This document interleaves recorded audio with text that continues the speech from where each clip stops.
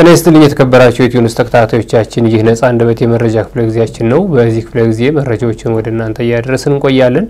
መረጃዎችን ወደ እናንተ በማድረስ በኩል የበላይ ማናዬ እንዲሁም በቀረጻና ቅንብር በኩል መለስ አድማስ ያለን እስከ ፍጻሜ አብራችሁ እንድትቆዩ እየጋበዝን በዛሬው ዕለት ዕለተ ረቡዕ ጳጉሜ 1 2015 ዓ ም የኢትዮ ኒውስ ነጻ አንደበት መረጃዎችን እንደሚከተለው ማቅረብ እንጀምራለን። እስከ ፍጻሜ አብራችሁ እንድትቆዩ በድጋሚ ጋብዛለሁ። የመጀመሪያ መረጃ የምናደርገው እንግዲህ ጳጉሜ አንድ ዛሬ የአዲስ ዓመት የሰላም ጥሪ በሚል ሰላሳ አምስት የሲቪክ ማህበራት ያወጡትን መግለጫ በተመለከተ ምንድን ነው ጠቅላላ ይዘቱ የሚለውን በአጭሩ በማጋራት ከዛም በኋላ አማራ ክልል የተለያዩ አካባቢዎች በእለቱ ያሉ ትኩስ መረጃዎችን ወደ እናንተ ማድረስ እንቀጥላለን። በመጀመሪያ ግን እነዚህ ሰላሳ ሰባት ሲቪክ ማህበራት በጋራ ያወጡት መግለጫ በዛሬው ዕለት ጳጉሜ 1 2015 ማለት ነው የአዲስ ዓመት የሰላም ጥሪ በሚል ሰፋ ያለ መግለጫ ወጥቷል። ነጥቦቹን በዋናነት ዋና ዋና ነጥቦቹን እናቅርብላችሁ። አንደኛ በዚህ ሰላም ጥሪ ከተካተቱት ጭብጦች መካከል አገር አቀፍ የሰላም መድረክ እንዲመቻች ጠይቀዋል። እነዚህ ሲቪክ ማህበራት በአጠቃላይ በሀገሪቱ ያለውን ሁኔታ በተመለከተ የውይይት መድረክ እንዲመቻች ሀገር አቀፍ የሰላም መድረክ እንዲመቻች ነው የጠየቁት። በሁለተኝነት የጠየቁት ደግሞ ገለልተኛ ምርመራና ተጠያቂነት እንዲሰፍን፣ ገለልተኛ ምርመራ እንዲደረግ እንዲሁም ደግሞ በምርመራው መሰረት ተጠያቂነት እንዲሰፍን፣ የወንጀል ተጠያቂነት እንዲመጣ የጠየቁበት ነው ሌላኛው ነጥብ። ሶስተኛው ነጥብ ጾታዊ ጥቃቶች ተገቢውን ትኩረት እየተሰጣቸው አይደለም፣ ስለዚህ ተገቢው ትኩረት ሊሰጣቸው ይገባል የሚል ነው። በአራተኛ ደረጃ ያስቀመጡት ደግሞ የተጋላጭና የግፉአን ጥበቃ የንጹሀን ማለት ነው። በየቦታው እንግዲህ ንጹሀን በርካታ ጉዳት እየደረሰባቸው እንደሆነ በተደጋጋሚ መረጃዎችን ስናቀርብ ተመልካቾች ትረዳላችሁ። እንግዲህ የምንሰማው ብዙ ነገር ከንጹሀን ሰቆቃ ጋር በተገናኘ አመታትን የተሻገረ ነው። የሲቪክ ተቋማት መግለጫ የተጋላጭና ግፉአን ጥበቃ ማዕቀፍ እንዲዘጋጅም እንደዚሁ ይጠይቃሉ። ህዝባዊ ተሳትፎ እንዲረጋገጥ እንዲሁም የቅድመ ግጭት መጠቆሚያና መከላከያ ስርዓት እንዲበጅ የሚጠይቅም እንደዚሁ በመግለጫቸው ላይ አካተዋል። የሰብአዊ ድጋፍ አቅርቦት እንዲሁ ሳይስተጓጎል ሊቀጥል ይገባል ይላሉ። የጥላቻ ንግግርና የተዛቡ መረጃዎችን በተመለከተም እንደዚሁ መቆም እንዳለባቸው እነዚህ ሰላሳ አምስት የሲቪክ ማህበራት ጥምረት በጋራ ባወጡት መግለጫ አመልክተዋል። እንግዲህ ከእነዚህ ተቋማት መካከል ሰላሳ አምስት ናቸው። ሁሉንም ለመጥራት ጊዜ የሚወስድ ነው። በዋናነት ግን ከሚታወቁት ብዙ ጊዜ በዚህም የመረጃ ክፍለ ጊዜያችን በተለይ ከሰብአዊ መብት ጉዳዮች ጋር በተገናኘ በተደጋጋሚ ስማቸው የሚጠቀሱትና አንጋፋ የሆነው በኢትዮጵያ በመንግስታዊ ያልሆነ የሰብአዊ መብት ድርጅት የመጀመሪያ የተጠቀሰው እንግዲህ የኢትዮጵያ ሰብአዊ መብቶች ድርጅት ህብረት ነው። ሁለተኛ ቀደም ሲል ስጠቅሰው የነበረው የኢትዮጵያ ሰብአዊ መብቶች ጉባኤ ነው።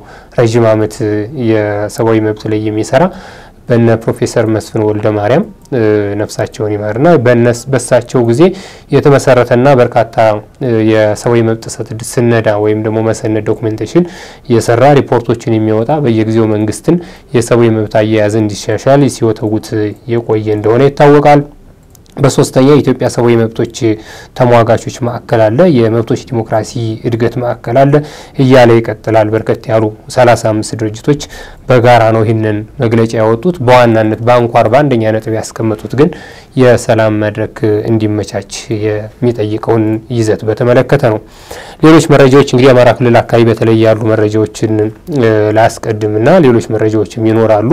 በተለይ ጎጃም አካባቢ ከሰሞኑም ውጊያዎች ሲደረጉ እንደነበረ በተደጋጋሚ መረጃዎችን ዋቢ እያደረግን አቅርበናል። ዛሬም አዳዲስ ቦታዎች ውጊያ ተከፍቷል። ቀደም ሲል ውጊያ ሲደረግባቸው የነበሩ እንደ ደጋዳሞት አካባቢዎችም እንደዚሁ ውጊያው መቀጠሉን የሚያመለክቱ መረጃዎች ለኢትዮ ኒውስ ደርሰዋል። በመጀመሪያ ግን አዲስ በአዲስ መልክ እንደ አዲስ ሰሞኑ ትናንትና ዛሬ በተለይ ትኩስ ውጊያ እየተደረገ የሚገኝባቸውን አካባቢዎች ለመጥቀስ ልሞክር። የመጀመሪያው ባህር ዳር አካባቢ በሰሜን ሜጫ በተለይ ከባህር ዳር በብዙ ርቀት አይደለም የሚገኘው ሰሜን ሜጫና ደቡብ ሜጫ ወረዳዎች በሰሜን ጎጃም አዲስ ተዋቀረው ማለት ነው። ትናንት ምሽት ጀምሮ ዛሬም ጠዋቱን የቀጠለ ውጊያ መከፈቱን ነው የመረጃ ምንጮቻችን ከስፍራው ያደረሱን። የመጀመሪያው ትናንት ደቡብ ሜጫ አካባቢ ብራቃት ከተማ አካባቢ ውጊያ ሲደረግ እንደዋለና አዳሩንም ከባድ ተኩስ ሲደረግ እንዳደረ ይህንን የመረጃ ምንጮቻችን አረጋግጠዋል። ይህን ውጊያ በተመለከተ መረጃዎችን ለማጣራት ስንሞክር እንዲሁም ውጊያው አድማሱን አስፍቶ በሰሜን ሜጫሞ ወረዳ መራዊ ከተማ አቅራቢያ በተለይ ልዩ ስሙ ቻይና ካምፕ ቻይና ካምፕ ተብሎ የሚጠቀሰው አካባቢ እንደዚሁ ውጊያ መከፈቱን በዛሬው ዕለት ዛሬ ጳጉሜ አንድ በጠዋት ውጊያ መከፈቱን የመረጃ ምንጮቻችን እንደዚሁ ከስፍራው አድርሰውናል። ይሄ ወደ ሰሜን ጎጃም በተለይ ባህር ዳር አካባቢ በብዙ የሚርቅ አይደለም ያለው የመረጃ ሁኔታ ነው። ሌላኛው የመረጃ እዚሁ ጎጃም ሳንወጣ ወደ ምስራቅ ጎጃም ይዞን የሚመጣ ነው። ምስራቅ ጎጃም ደብረ ወርቅ አካባቢ ከሰሞኑ ውጊያ ሲደረግ እንደነበረ መጥቀሳችን ይታወሳል። ይሄ ውጊያ ትናንትና ዛሬም እንደዚሁ መቀጠሉን ነው የመረጃ ምንጮቻችን ያረጋገጡልን። በተለይ ከደብረ ወርቅ ከተማ ወጣ እንዳል ወደ ግንደወይን ስንሄድ ማለት ነው። ከደብረ ወርቅ ብዙ ሳንርቅ ጉብያ የምትባለው አካባቢ የኪዳነ ምሕረት ቤተ ክርስቲያን አካባቢ ማለት ነው። ትናንት ምሽት ጀምሮ ውጊያ እንደነበረ የመረጃ ምንጮቻችን አረጋግጠው ይሄ ውጊያ በዛሬው ዕለት ጠዋት ጠዋት ይህን መረጃ እስከምንሰጥበት ጊዜ ድረስ ከጉብያ እንደገና ውጊያው ወደ ኋላ ተመልሶ ወደ ደብረ ወርቅ ከተማ ማለት ነው ውጊያ እየተደረገ እንደሆነ ነው የመረጃ ምንጮቻችን የጠቀሱት። ይሄ የሆነው ከመከላከያ ሰራዊት ከደብረ ወርቅ ከቢቸን አቅጣጫ ደብረ ወርቅ ወደ ግንደወይን ለመግባት ነበረ ውጊያው እንዲከፈት መንስኤ ሆነው ይላሉ የመረጃ ምንጮቻችን። ሆኖም ግን አሁን ውጊያው ከከተማዋ ሳይርቅ እንዲሁም ወደ ከተማዋ እየተመለሰ ውጊያ እየተደረገ እንደሆነ በዚህ ሰዓት የመረጃ ምንጮቻችን አረጋግጠዋል። ቀደም ሲል ውጊያ በከፍተኛ ሁኔታ ሲደረግባቸው የነበሩት ቢቸና ከተማና ዙሪያው ተኩስ ድምፅ አይሰማባቸውም። ሆኖም ግን አሁንም እንቅስቃሴው በዚሁ ምክንያት የተገደበ እንደሆነ የመረጃ ምንጮቻችን ጠቅሰዋል። አልፎ አልፎ ከሚታዩ ተቋማት ወይም የንግድ ተቋማት ውጪ በስፋት ከተማው አሁን የበዓሉ ዋዜማም አይመስልም፣ ቀዝቀዝ እንዳለ ነው ይላሉ የመረጃ ምንጮቻችን። ይህንን ተከትሎ እንግዲህ ደብረ ወርቅና አካባቢ ያለውን ሁኔታ እንዲሁም ደግሞ በተከታይነት በስፋት የምንመለከተውን የደጋ ዳሞትን ውጊያ በተመለከተ ይሄ ተጽዕኖ አሳድሮ ሞጣ ከተማና ዙሪያው አሁንም ዛሬ ውጥረቱ እንዳገረሸ ነው የመረጃ ምንጮቻችን የሚጠቅሱት። ምንድን ነው ውጥረት ማለት ምንድን ነው የሚለውን እያነሳንላቸው ነበረ ለመረጃ ምንጮቻችን። ውጥረቱ ማለት ከተማው ላይ ያለው አካባቢ እንቅስቃሴውም አሁን ስጋት ያራበበበት ሆኗል። በአጎራባች ወረዳዎች ውጊያ መደረጉ እንዲሁም ደግሞ ከተሞች የሚያገናኘው ዋና አውራ መንገድ አካባቢው መሆኑ ውጊያው የሞጣ እና ዙሪያውንም እንደዚሁ ለውጥረት ዳርጎታል ይላሉ። በትክክልም ይህ የደብረ ወርቅ ግንደወይን መስመር ከደጀን ጀምሮ ከአዲስ አበባ በቢቸና እንዲሁም በደብረ ወርቅ ሞጣ ግንደወይን አድርጎ በአዴት ባህር ዳር የሚገባው ከዛም እስከ ጎንደር ድረስ በዚህ በሰሜን ምዕራብ የሀገራችን ክፍል ያለውን ሁኔታ አገናኝ ትልቅ አስፋልት መንገድ እንደሆነ ይታወቃል። ይህ መንገድ አሁን የሕዝብ ትራንስፖርት እየሰጠ እንዳልሆነ ነው የመረጃ ምንጮቻችን ያረጋገጡት።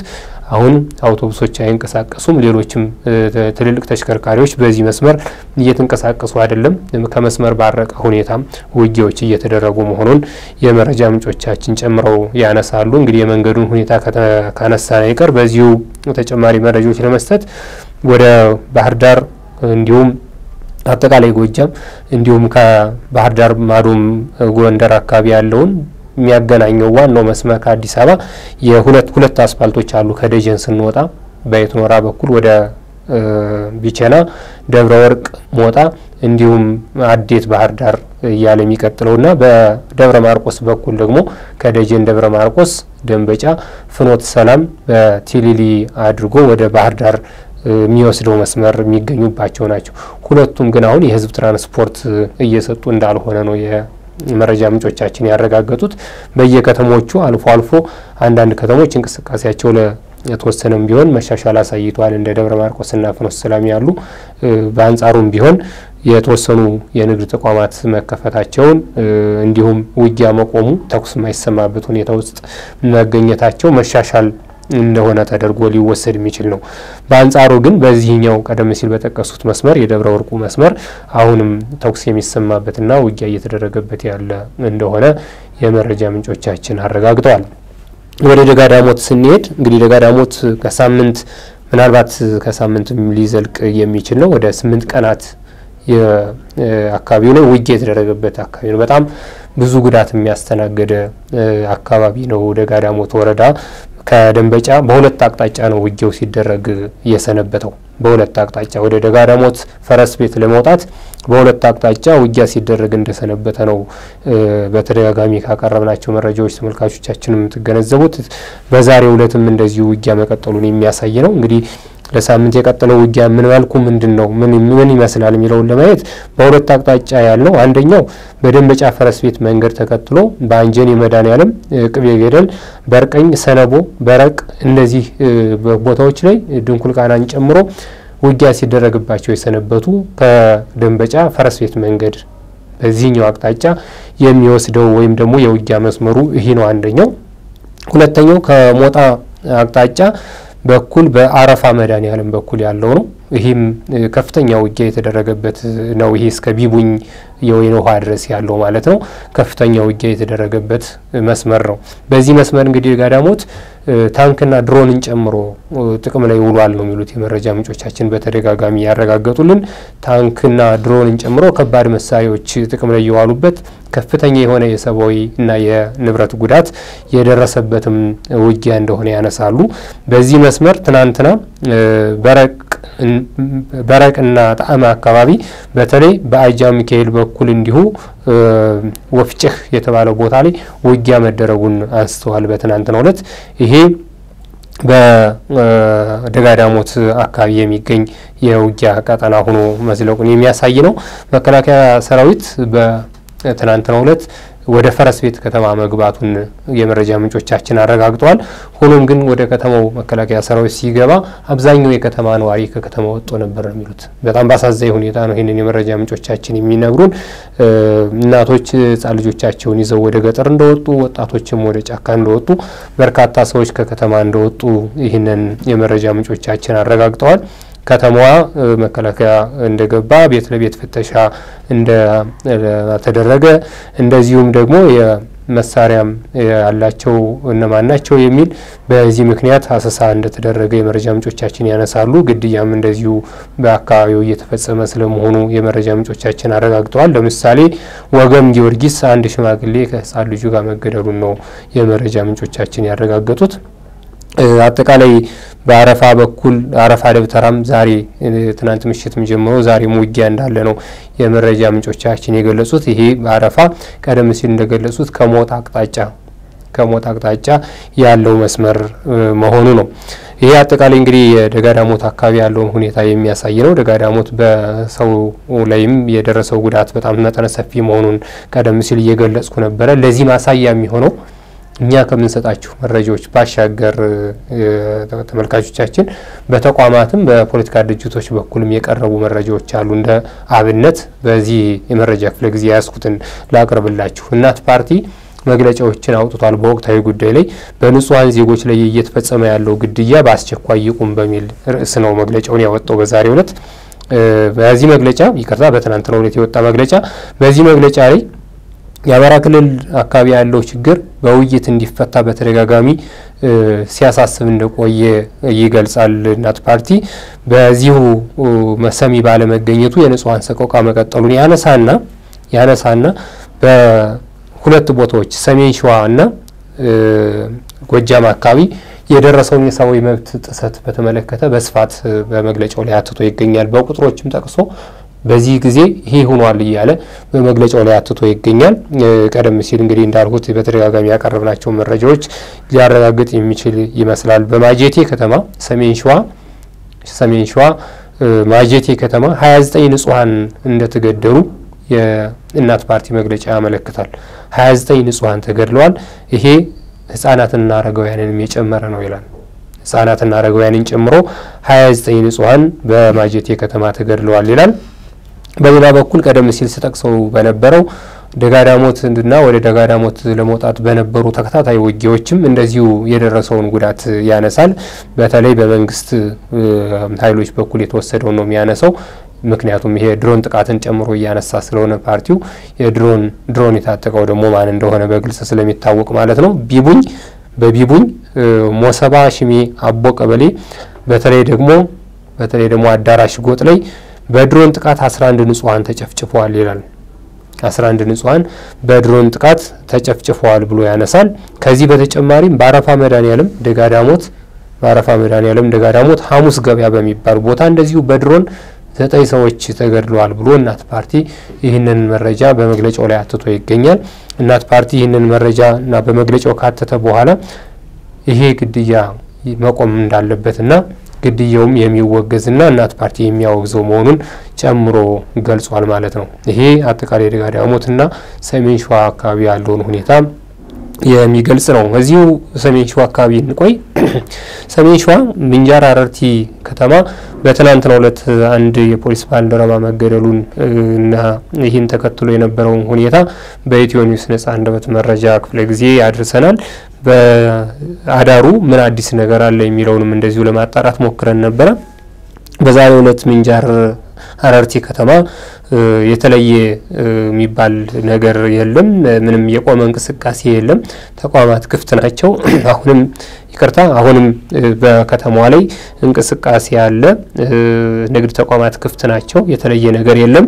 በሆኖም ግን በፖሊሱ ባልደረባው ግድያ ምክንያት ፖሊስ ጣቢያዎች በዛሬው ዕለት ዝግ እንደሆኑና የፖሊስ አገልግሎት እንደሌለ እንዲሁም ሌሎች የፖሊስ ባልደረቦች በቤታቸው እንደሚገኙ ነው የሰማ ነው ብለው ነው የመረጃ ምንጮቻችን ከአካባቢው ይህንን መረጃ ያደረሱን። የአካባቢው አስተዳደር ወይም የአካባቢው ላይ ያሉ ይህንን መረጃ ይመለከታቸዋል ብለን ላሰብናቸው ሰዎች ስልክ ስንደውል እየመለሱ አይደለም። ሆኖም ግን አረርቲ ከተማ በዛሬው ዕለት የተለየ ነገር የለም። በፋኖም በመከላከያም በኩል ከተማው ላይ አሁን ማን ነው ያለው? ምንድን ነው የተለየ ነገር ያለው የሚለውን በተመለከተ ለጠየቅናቸው የታጠቁ አካላት በብዛት በከተማው አይታዩም። መከላከያም በከተማው ላይ አላየንም። የፋኖ የታጠቁ የፋኖ አባላትም በከተማው ላይ አላየንም። ሆኖም ግን ከተማው ላይ የተለየ ነገር የለም። ሰላማዊ የሆነው እንቅስቃሴ እንደቀጠለ ነው ሲሉ ነው የመረጃ ምንጮቻችን ያረጋገጡት። በዚሁ ወደ ሰሜን ወሎ ስንሄድ ሰሜን ወሎ በተለይ ላሊበላ አካባቢ ያለውን ሁኔታ በተመለከተ እንደዚሁ መረጃዎች እናድርሳችሁ። ላሊበላ አሁንም በጥቆማ ቤት ለቤት በአሰሳ በሌሊት የሚታሰሩ ሰዎች መቀጠሉ ነው የተገለጸው። በአሳዛኝ ሁኔታ እስሩ የሚከናወነው ከምሽቱ ሶስት ሰዓት እስከ ንጋት አስር ሰዓት እስከ ሌሊቱ አስር ሰዓት ነው በዋናነት እስር ቤት ለቤት በአሰሳ እየተፈጸመ ያለው።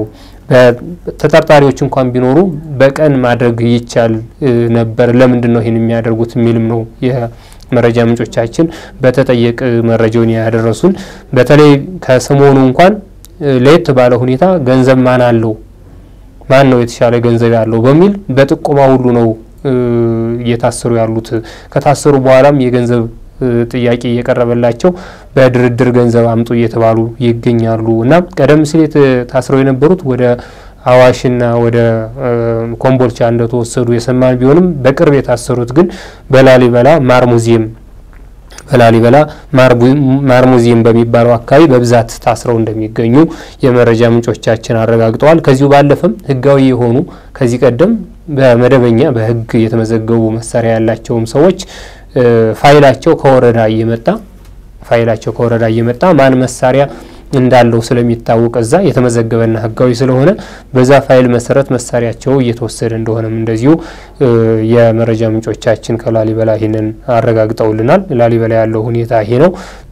በዓል የበዓል ዋዜማ ላይ ብንሆንም ነገር ግን ዋዜማ አይመስልም ድባቡ ቀዝቀዝ ያለ ነው የሚልም ነው የመረጃ ምንጮቻችን እንደዚሁ ያነሱት።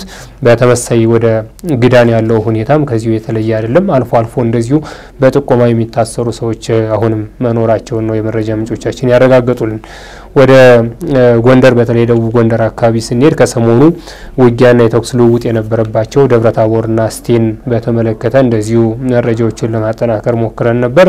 በአካባቢው ላይ የተኩስ ድምፅ አይሰማም። ሆኖም ግን አሁንም የእንቅስቃሴ ሁኔታው ሲታይ ድብታ ያለበት ነው። የበዓል ዋዜማ አይመስልም። የተገደበ እንቅስቃሴ ነው የሚታየው። ሆኖም ግን የተኩስ ድምፅ እስካሁን እየተሰማ አይደለም። ይሄ አንድ ነገር ነው። የገበያ ሁኔታውና አጠቃላይ የበዓል ድባቡን በተመለከተ ግን ፈዛዛ እንደሆነ የመረጃ ምንጮቻችን ጨምረው አንስተዋል። ወደ ሌሎች መረጃዎቻችን ስናልፍ በይርጋለም ፖሊስ ከአዲስ አበባ ተይዘው ከአዲስ አበባ ተይዘው በስር ወደ ሲዳማ ክልል ይርጋለም ከተማ ተወስደው ታስረው የሰነበቱ ተጠርጣሪዎች ወይም በአስቸኳይ ጊዜ አዋጁ የታሰሩ ሰዎች ወደ ተለያዩ ፖሊስ ጣቢያዎች ቀደም ሲል ወደ ተያዙባቸው ወደ ተለያዩ ፖሊስ ጣቢያዎች ወደ አዲስ አበባ እንደተመለሱ የመረጃ ምንጮቻችን ነግረውናል። ምናልባት ይህንን በተመለከተ በጭንቀት የሰነበቱ ዘመዶቻቸውን፣ ጓደኞቻቸውን፣ ቤተሰቦቻቸውን በእስር ላይ ያሉትን ማለት ነው ሳያዩ የቆዩ አሁን ምናልባት ማየት ይቻል ከሆነ በየፖሊስ ጣቢያዎቹ ሊጠይቁ ይችሉ እንደሆነ ይህንንም ጥቆማ ቢሰጥ የሚል የመረጃ ምንጮቻችን ጨምረው ይህንን አድርሰዋል። እንግዲህ ሁለት ቦታዎች በዋናነት ከአዲስ አበባ ርቀው እስር የተደረገባቸውን ቦታዎች ተደጋጋሚ ስንጠቅስ ነበር። አንደኛው እንግዲህ ሲዳማ ክልል የሚገኘው ይርጋለም ፖሊስ ኮሌጅ ነው። ይሄ አሁን ቀደም ሲል ያቀረቡት መረጃ ነው። ሌላኛው የምክር ቤት አባላትን ጨምሮ ሌሎች በፖለቲካ ተሳትፏቸው የሚታወቁ ሰዎችን ጨምሮ በርካቶች የታሰሩበት ደግሞ አዋሽ አርባ ነው። ይህንን በተመለከተ የተለየ መረጃ የለም። ሆኖም ግን ቀደም ሲል የኢትዮጵያ ሰብአዊ መብቶች ኮሚሽን በቦታው ሂዶ የታሰሩ ሰዎችን በተለይ ደግሞ የምክር ቤት አባላትን የሆኑትን የተከበሩ አቶ ክርስቲያን ታደለ የሕዝብ ተወካዮች ምክር ቤት አባል፣ የተከበሩ አቶ ዮሐንስ ቧያለው የአማራ ክልል ምክር ቤት አባልና የፌዴሬሽን ምክር ቤት አባል እንዲሁም የተከበሩ ዶክተር ካሳ ተሻገር የአዲስ አበባ ምክር ቤት አባላትን አባልን ጨምረው ሌሎችንም እንደ ጎበኙና አያያዛቸውን በተመለከተ ያለውን ሁኔታ ተመልክቶ መግለጫ ማውጣቱን ይህንን በተመለከተ የመረጃ ምንጮች ይህን ብለዋል። ይቅርታ የጎበኘናቸው ተጠርጣሪዎች ይህን ብለዋል በሚል በብሔር ማንነታቸው ምክንያት በሃይማኖት ማንነታቸው ምክንያት እስር ተፈጽሞብናል ብለው እንደሚያምኑ ነግረውኛል ብሎም በመግለጫው ላይ ማተቱን ከዚህ ቀደም የወጡ መረጃዎችን ዋቢ አድርገን አጋርተናቸው ነበር ተመልካቾች። በመጨረሻ ሁለት የተለያዩ አዳዲስ አጫጭር መረጃዎችን ላድረሳችሁ። አንደኛው የሰራዊት ምረቃን በተመለከተ ነው። የኢፌዴሪ መከላከያ ሰራዊት ብር ሸለቆ መሰረታዊ ወታደራዊ ማሰልጠኛ ወታደሮችን አስመርቅ ያለሁ ብሏል። በትናንትናው ዕለት በኦፊሳላዊ ገጹ ላይ የወጣው መረጃ ነው ይሄ። ሌትናል ጄኔራል ብርሃኑ በቀለ የምዕራብ ዕዝ አዛዥ ናቸው። በምረቃው ላይ ተገኝተው የተናገሯቸውን ነገሮች ነው ወደ እናንተ ማድረስ በዋናነት የወደድኩት ተመልካቾች። እሳቸው ምን ይላሉ? ሌትናል ጄኔራል ብርሃኑ በቀለ ጽንፈኝነት የዘመኑ አደገኛ አካሄድ ነው ብለዋል። በምረቃ ስነ ስርዓቱ ላይ ማለት ነው። ጽንፈኝነት የዘመኑ አደገኛ አካሄድ ነው፣ መከላከያ ይህንን ሀሳብ መታገል ይጠበቅበታል ሲሉ ለተመራቂዎቹ ተናግረዋል። እንግዲህ ይሄ ከፖለቲካ አስተሳሰብ ጋር የተገናኘ ነው ወይስ ምንድን ነው? አሁን መከላከያ በዚህ ጉዳይ ላይ ሀሳቡን የሚታገለው እንደምን ነው የሚለው አልተብራራም። ምክንያቱም ይሄ የፖለቲካ ድርጅቶችና የፖለቲካ አመራሩ ሚና አይደለም ወይ? በሀሳብ መተጋገል የፖለቲከኞች አይደለም ወይ? የሚና ጉዳይ ሲነሳ ማለት ነው። መከላከያ ሰራዊት የሀገር ዳር ድንበርን መጠበቅ እንጂ የአመለካከትን ተከትሎ አመለካከትን ተከትሎ ወይም አመለካከትን መነሻ በማድረግ እንደዚህ አይነት ወታደራዊ እርምጃዎችን መውሰድ ይጠበቅበታል ወይም ማንዴቱ ነው ወይ የሚለው በጥያቄ ሊነሳ ይችላል። እንግዲህ የተመልካቾቻችን ጽንፈኝነት የዘመኑ አደገኛ አካሄድ ነው፣ መከላከያ ይህንን ሀሳብ መታገል ይጠበቅበታል ሲሉ ነው ሌተናል ጄኔራል ብርሃኑ በቀለ የገለጹት። የደቡብ ዕዝም እንደዚሁ ትናንት እንደዚሁ ሰራዊት ማስመረቁን በተመለከተ የኢፌዴሪ መከላከያ ሰራዊት የኦፊሳላዊ ገጹ ላይ ተመልክተናል። በዚህም እንደዚሁ ንግግር ያደረጉት በዚህኛው ደግሞ የደቡብ አዛዥ ሌተናል ይቅርታ የደቡብ አዛዥ ሌተናል ጄኔራል ሰለሞን ይተፋ ናቸው። ሰለሞን ይተፋም እንደዚሁ ምንድን ነው የሚሉት አክራሪነትና ጽንፈኝነት አክራሪና ጽንፈኛ ኃይሎች በሶማሌ ክልልና በትግራይ ክልል ሰሞኑን ደግሞ በአማራ ክልል በሰራዊቱ ላይ ጥቃት እየፈጸሙ እንደሆነ ነው ያነሱት። ይህም በወጉ በብዛት የቀረበ ሀተት አይደለም።